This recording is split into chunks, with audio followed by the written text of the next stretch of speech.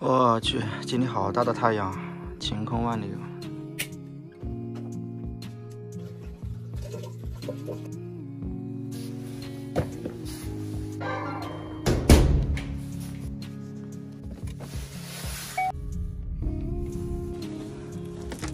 续航只有七十三公里，先去把电充满。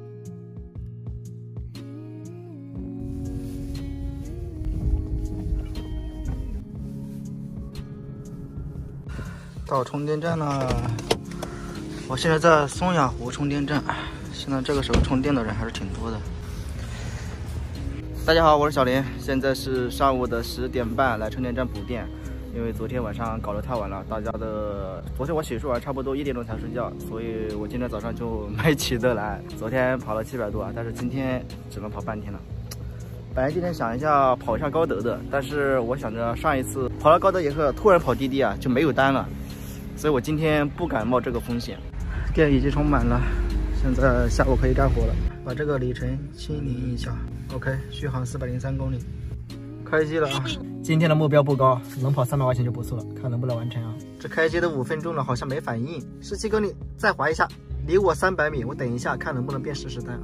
那一单没了，被人抢走了，拿了一个拼车单，去开福区的，还可以。这一单的话，应该有个十四五公里吧。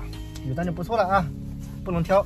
上了一单到这个中电软件园，出来快两个小时了，跑了五单，七十七块钱。看一下跑了多少公里啊？四十八点六公里啊。这个公里数和这个金额差不多，就是一比二的比例啊。然后今天的话，趁着这个天气特别好，不用开空调的情况下，就给大家测试一下我这辆跑了二十一万公里的比亚迪新能源汽车。到底它的真实续航是多少？中电软件园这里不晓得有没有大胆，要是能给我来一个去机场或者高铁站的那就好了。南站的没等到，等了一个滴滴特快，加价两块一。这是什么操作？把车牌号照住。这警察要看到了，不直接给他来个现场处罚？四点五十，停止接单，干饭了。左边是兰州大酒店，右边是沙县大酒店。今天就吃沙县。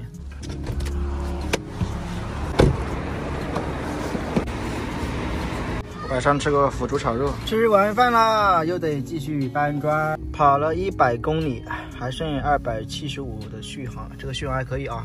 然后继续干活，还有学习。像这种下雨天啊，确实看不清楚，所以你们一定要注意这种路口。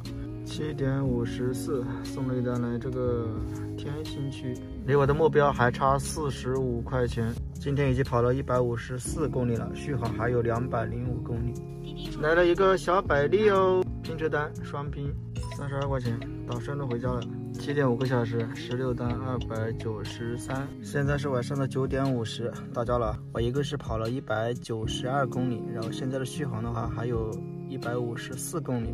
然后我这辆车已经跑了将近二十一万公里了，所以也就是说，我这辆跑了二十一万公里的比亚迪牌电车。